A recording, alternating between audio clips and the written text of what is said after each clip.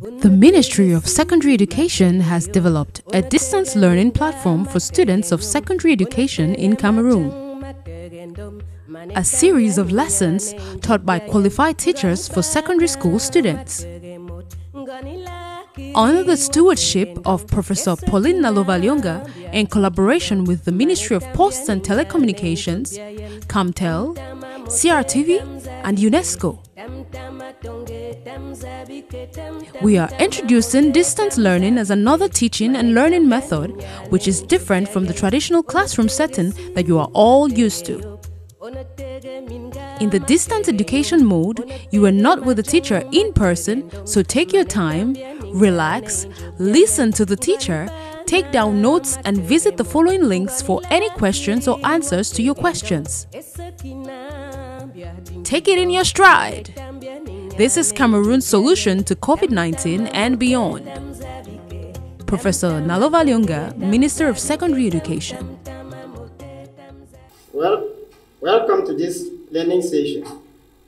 I am Was Moses, your mathematics teacher.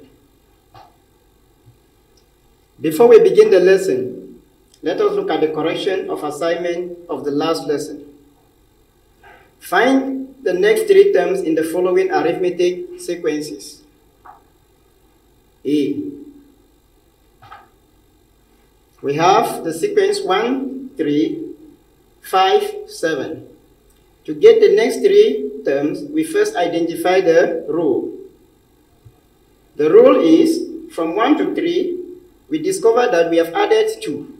From 3 to 5, we notice that we have added 2. And from 5 to 7, we notice that we are adding, we've added 2. That is why we're saying the rule is add 2 to each term. And similarly, if we add 2 to 7, we obtain 9. If we add 2 to 9, we obtain 11. And if we add 2 to 11, we obtain 13, giving us the next three terms as 9, 11, 13. We move to the B part. The sequence in B is 10, 5, 0, negative 5. Looking at that sequence, from 10 to 5, you see that 5 has been subtracted. From 5 to 0, 5 has also been subtracted. From 0 to negative 5, 5 has been subtracted. So, the rule is subtract 5 from each preceding term. And following this same rule, we see that to get the next term, we subtract 10, we subtract 5, 5 from negative 5. And when you subtract 5 from negative 5, you have you obtain negative 10. Now, if you subtract 5 from negative 10, you obtain negative 15. Similarly, obtaining, subtracting 5 from negative 15, you have negative 20.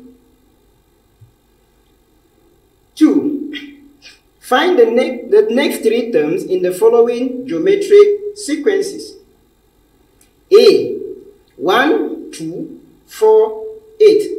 Now, you should remember that we said for geometric sequence, we should either be multiplying or dividing. And when you look at the sequence 1 to 2, 2 to 4, 4 to 8, you notice that there is a constant multiplication there. And what they are multiplying by is 2. If you multiply 1 by 2, it gives you 2. If you multiply 2 by 2, it gives you 4.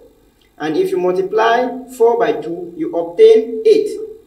So the rule is multiply each preceding term by 2. So the next three terms will be, as you can see on your screen, 8 times 2, which will give you this 16. 16 times 2 will give you obtain 32, and 32 times 2 you obtain 64. So those are the next three terms. B, 100, 50, 25, 25 over 2. Looking at that sequence in B, again, we already told that there are geometric sequences. We just need to identify whether we are multiplying or we are dividing. And when we look at 100 to 50, you see that they have divided by 2. 50 to 25, they have divided by 2. And of course, the last one from the given sequence is 25 over 2, which means that the rule is, as you can see on the screen, divide each preceding term by 2. If that is done, the next three terms will be to get the first term from the three terms, we divide 22 over 5 over 2, 25 over 2 by 2. And if you divide 25 over 2 by 2, it will be the same as you're taking 25 over 2 and dividing by 2. And division by 2 here means 25 on 2 times 1 over 2. And in this case, 25 times 1 gives 25 because nothing can be simplified. And 2 times 2 gives 4. So in that like manner, dividing 25 over 4 by 2, we obtain 25 over 8. Dividing 25 over 8 by 2, we obtain 25 over 16. And we get the next three terms as required.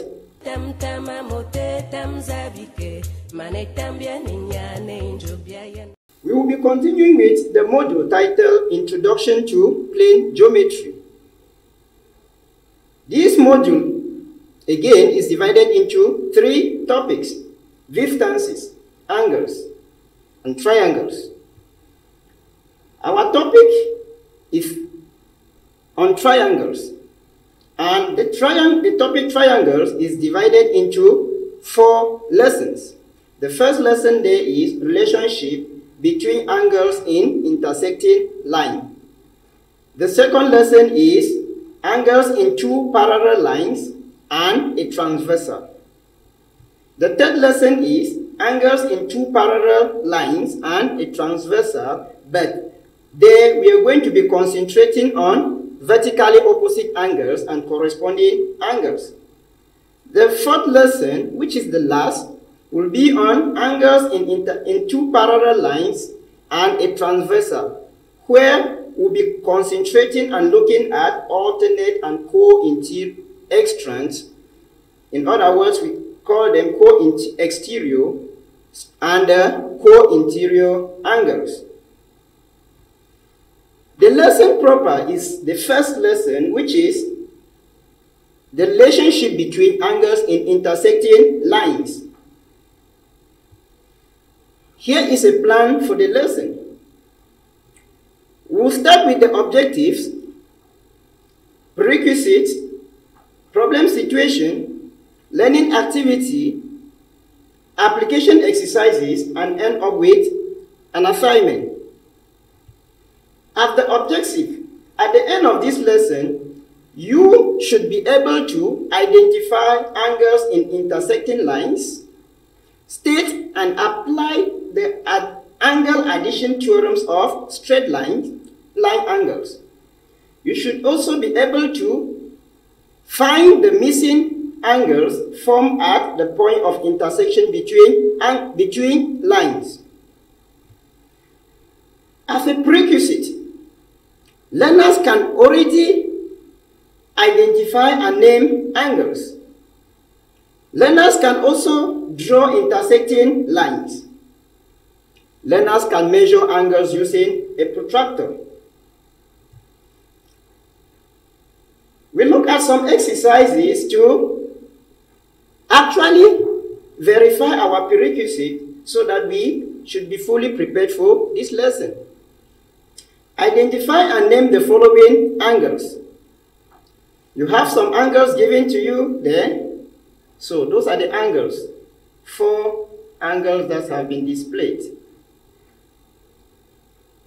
As a solution to this activity,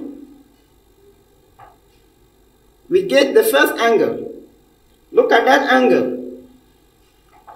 As you already know on angles, basic notion on angles, when an angle is not open up to get to a right angle, we call it an acute angle. So that angle indicating 45 day is an acute angle. We get the next angle. Now, from your notion on, basic notion on angles, when an angle is like crossing the vertical line, we call those type of angles obtuse angles. Obtuse. So which means that the angle beta is obtuse. The next angle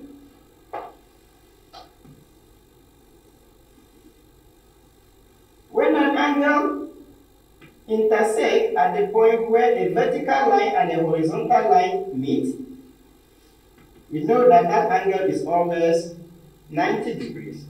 And angles which measure 90 degrees are called right angles. So the theta there is a right angle. Lastly, the angle omega.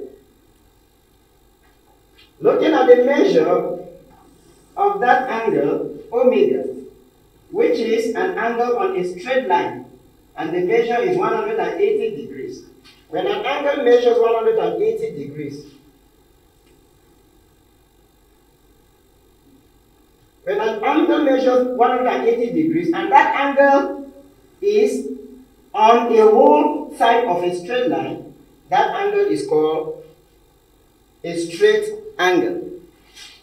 So all straight lines, as we already know, their measure of angles will always give 180 degrees.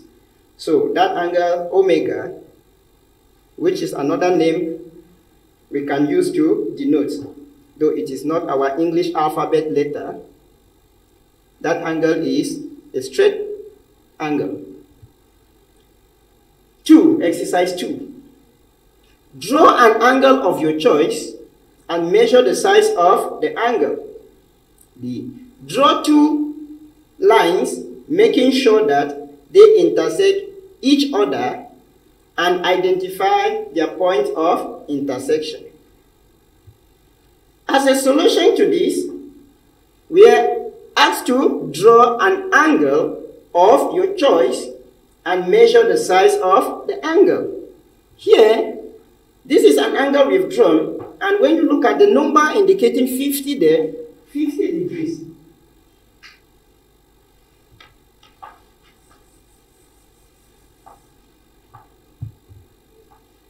This is an angle that has been drawn. And when you measure using a protractor, you obtain the 50 degrees you're seeing there. So that is how that angle was measured. B. Draw two lines, making sure that making sure they both intersect each other and identify their points of intersection. Now, you, a line can be drawn to face in any direction. If I have a line, line, supposing this is a line, and I have another line, if this line happens to meet this other line, it must have a point where the two intersect, and this is the point of intersection. So, that is the two lines drawn with the point of intersection indicated. Now, we look at a real life situation that can be related to the lesson. To draw two intersecting lines and find out how many pair of vertically opposite angles can be formed at the point of at their point of intersection. Comma. Johnson, a Form 2 student, after drawing the two intersecting lines, argues that there are four pairs of vertically opposite angles. How will you prove to John, to Johnson, that the answer, his answer is wrong? Yeah, we keep track of this problem situation, identify the problem in it, and we'll come back to it at the end of the lesson. Learning activity 1. Given the image representing a pair of scissors, as shown below. Please, this is a pair of scissors. I'm sure everybody can identify scissors. A. Draw two lines, each on one arm of the pair of scissors, making sure that they both intersect at the pivot. B. Taking the pivot as the vertex, measure each angle formed and write down their sizes. C. Extract the two lines from the pair of scissors with all the indicated angles. D. State any visible observation and write down the relationship between the lines and the angles obtained in B above. E. What name is used to describe angles formed at the intersection of two lines? We look at the solution to this learning activity. A says draw two lines, each on one arm of the pair of scissors making sure they both intersect at the pivot. On your screen, you see that the scissors has some lines labeled L1 and L2. So we've just drawn the two lines to intersect at the pivot. These we're expected to follow the instruction for B. B, taking the pivot as the vertex, measure each angle, form, and write down their sizes. So if we were to use some standard measuring instruments to get those angles used from the scissors, you see that four angles will be formed at the intersection of these two lines. And those four angles, you can see them indicated on the scissors. So the four angles, as you see there, we can denote them still using those uh, Greek letters of their alphabet as alpha, beta, theta, and omega. That is how those letters are called in the Greek language. See, extract the two lines from the pair of scissors with all the indicated angles. Now, when you look at C and you see what you have here, you notice that the scissors has been taken away and only the angles that were formed on the scissors are visible.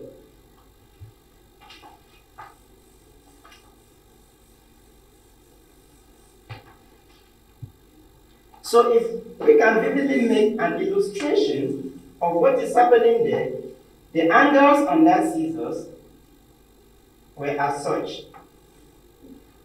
Here we have alpha, here we have omega, here we have beta, and this is theta.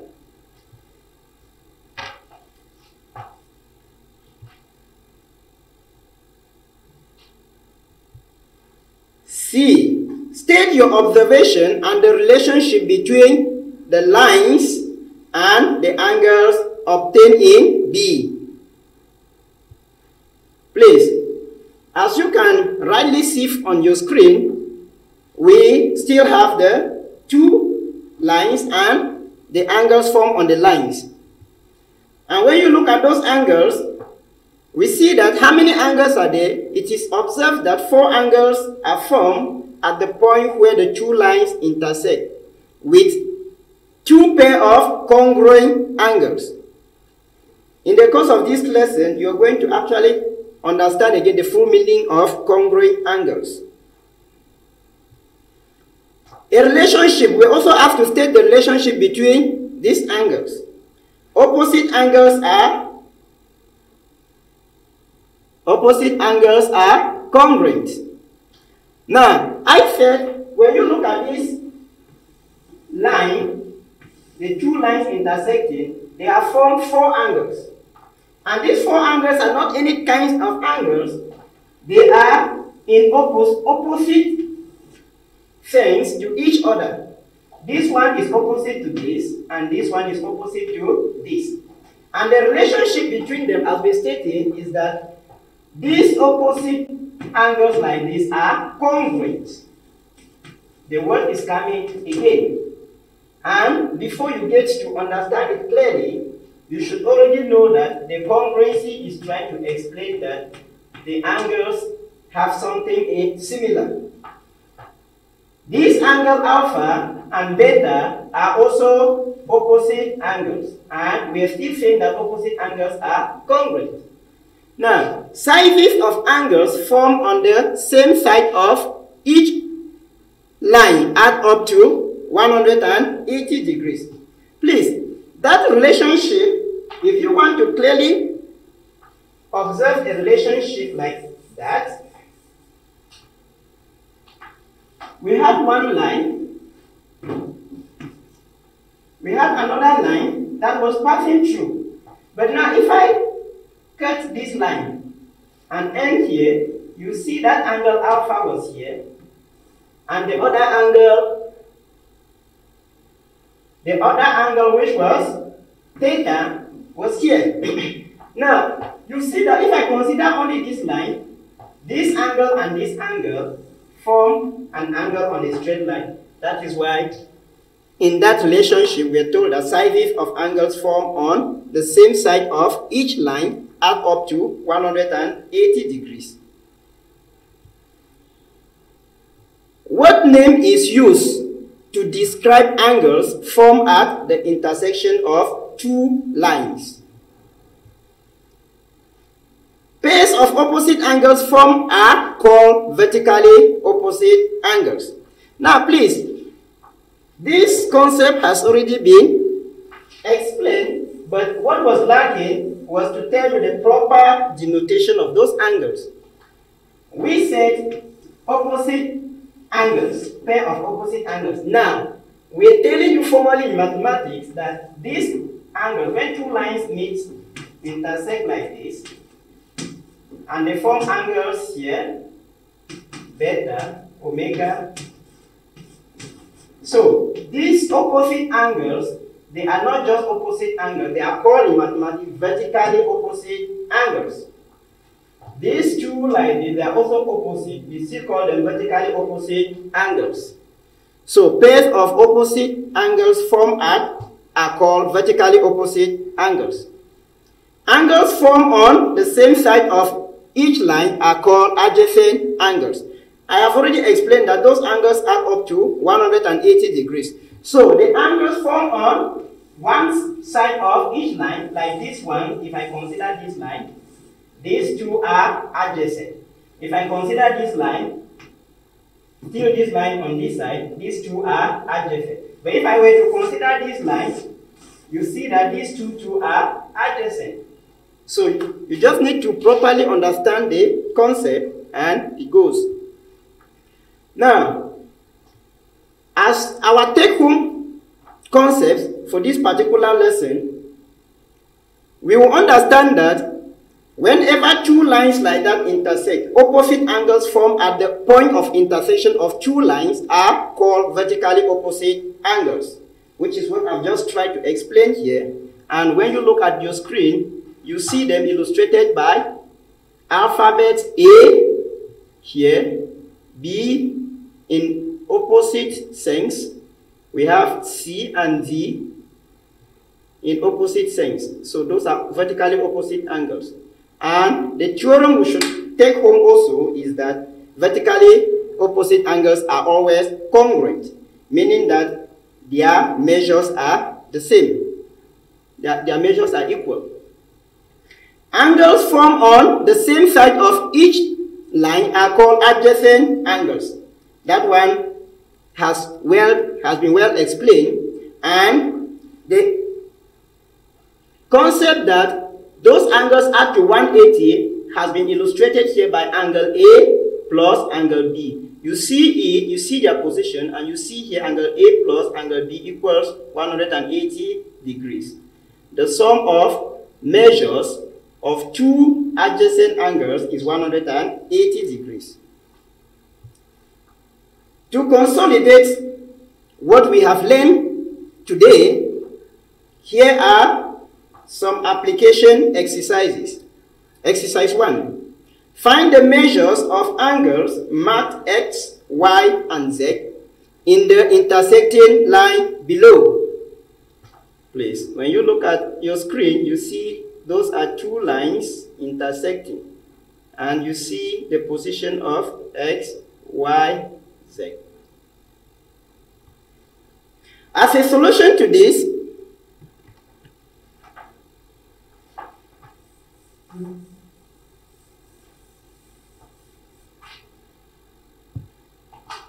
we have two intersecting lines. An angle has been formed here, 45 degrees. You have another angle to be formed here, and you ask to calculate it, which is x. Another angle is supposed to be formed here, represented by z, and another angle is supposed to be formed here, represented by y. Please, here from the concepts we have just learned, it is simple. Looking at 45 and z, you see that they are vertically opposite angles. And we say that vertically opposite angles are equal, are congruent, meaning that their measures are equal. Okay, now this is a measure 45 degrees. So if this angle is congruent to this angle, means that z is equal to 45 degrees. And another concept we've just learned is that if we choose a line and we have angles on the same side of that line, those angles add up to 180 degrees. So y plus 45 degrees is equal to 180 degrees. So to find y, we just subtract 45 from 180. 180 minus 45. And this gives us 135 degrees. So, please, on your screen, that's the solution. Z is 45 degrees, vertically opposite angles. As we have already explained, Y and 45 are adjacent angles. We look at the angles X and Y. We see that X and Y are vertically opposite angles. We've already obtained a solution for Y. That Y is 135, which means that X is equal to Y and should also be 135 degrees. To draw two intersecting lines and find at how many pairs of vertically opposite angles can be formed at their points of intersection. Johnson, a Form 2 student, after drawing the two intersecting lines, argues that there are four pairs of vertically opposite angles. How will you prove to John that his answer is wrong? That is our real life situation we faced at the beginning of the lesson. Let us now look at the solution. Solution. Now, to prove to John and verify,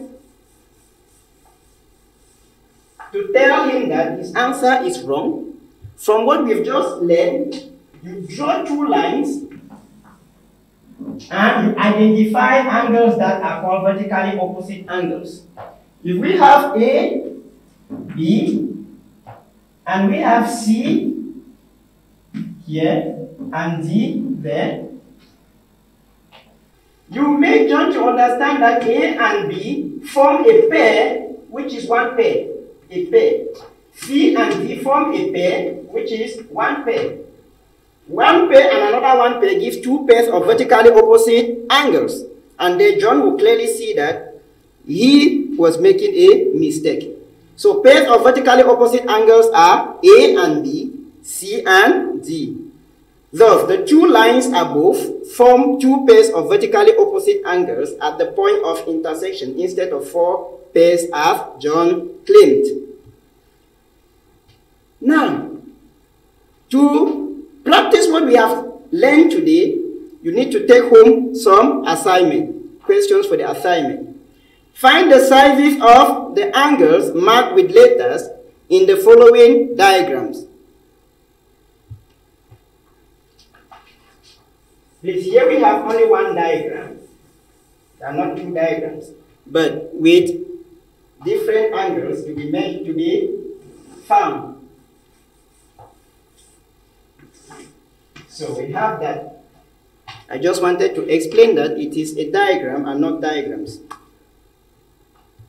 Okay, that is A and this is B. B has a different diagram.